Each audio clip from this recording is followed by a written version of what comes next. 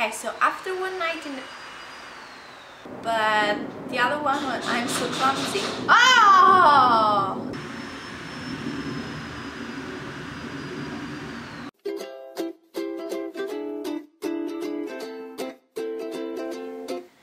Hi everyone!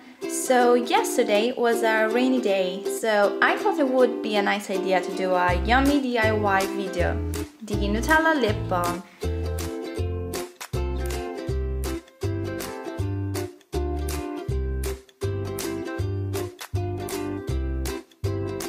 I started to put the ingredients in a glass and the ingredients are 1 tablespoon of beeswax or cocoa butter like what I'm using 2 teaspoons of coconut oil and 2 teaspoons of Nutella.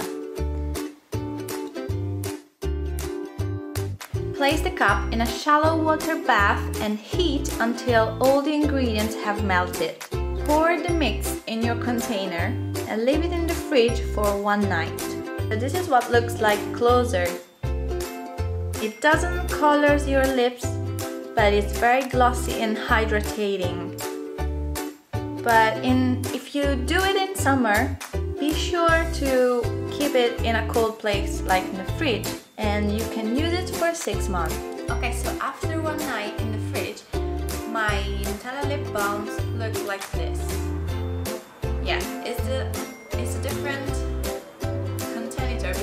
so clumsy that the other one, it fell from my hands when I was putting in the fridge. So this is the result. Let's try.